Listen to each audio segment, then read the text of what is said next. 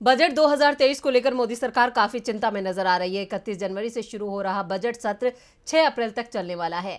इस दौरान विपक्ष गिरती अर्थव्यवस्था, गिरते रुपए और बढ़ती महँगाई को लेकर सरकार को घेरने की रणनीति बना चुका है। ऐसे में पीएम मोदी भी अपने बचाव के लिए तेरह जनवरी को अर्थशास्त्रियों के साथ एक अहम बैठक करने जा रहे हैं।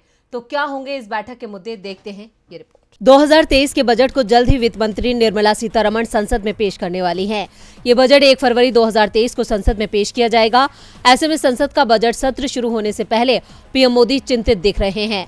शायद यही वजह है कि पीएम मोदी ने 13 जनवरी को नीति आयोग के अर्थशास्त्रियों और अलग अलग एक्सपर्ट्स के साथ बैठक बुलाई है। इस बैठक में पीएम मोदी देश की अर्थव्यवस्था को लेकर चर्चा करेंगे।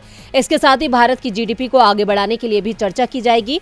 आपको बता दें कि वित्त वर्ष 2023-24 का ये आम बजट 1 फरवरी 2023 को वित्त मंत्री संसद में पेश करेंगी। ये मोदी सरकार के दूसरे कार्यकाल का आखिरी पूर्ण बजट होगा। देश में घटती डिमांड के कारण इस चालू वित्त वर्ष में भारत की जीडीपी सात फ़ीसदी तक रहने का अनुमान है। पिछले साल सरकार का यह अनुमान था की भारत की अर्थव्यवस्था चालू वित्त वर्ष में आठ ऐसी साढ़े आठ फ़ीसदी तक बढ़ेगी, जो कि आरबीआई ने घटाकर छह दशमलव आठ फ़ीसदी कर दी। माना जा रहा है की भारत की चालू वित्त वर्ष में जीडीपी सात फ़ीसदी रहेगी। ऐसे में भारत सऊदी अरब से पीछे रह जाएगा, जिसकी जीडीपी इस वित्त वर्ष में सात दशमलव छह फ़ीसदी रहने का अनुमान है।